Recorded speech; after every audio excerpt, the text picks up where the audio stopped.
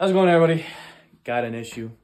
Uh, trying to adjust my alternator bracket. Um, well, this holds on the alternator bracket. This thing right here.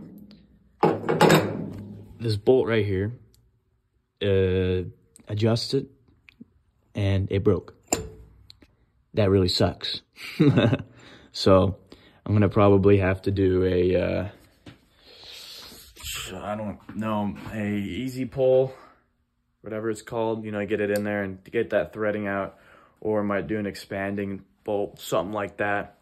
Anyways, post and chat, guys. What do I do? I'm sort of uh, new at mechanicking, and this is my first broken bolt. And so, if you guys have any ideas, post in the comments. Hopefully, I can get this thing up and running. It's just the alternator. So, I mean, I, I got to get it in. So, uh, post in chat, guys. What do you think?